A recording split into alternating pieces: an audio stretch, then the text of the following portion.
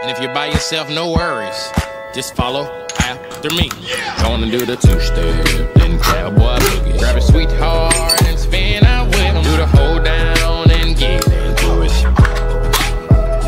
Take it to the left now and dip with it. Don't throw down, take a sip with it. Now lean back, put your hips in it. Let's have some fun. Uh, to the left, to the left now.